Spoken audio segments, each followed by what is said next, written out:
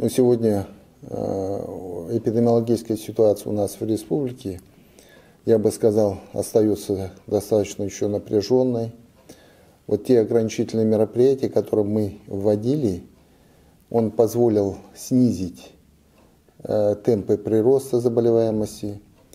Э, сегодня он ниже, чем вот две недели назад, но все же вот необходимо продолжить нам всем соблюдать все необходимые меры, вот чтобы сохранить тенденцию дальнейшего снижения заболеваемости. Ну а что касается прививок, я не раз говорил, что прививка – это самая надежная, это самая доступная, эффективная мера от любой инфекции. Поэтому я хочу посоветовать всем нашим гражданам еще раз, не надо откладывать этот вопрос, надо прийти и поставить прививку.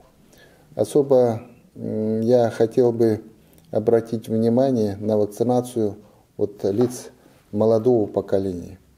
Вот учитывая, что не за горами учебный, э, начало учебного года, я хотел бы призвать всех наших студентов вот, э, активно вакцинироваться.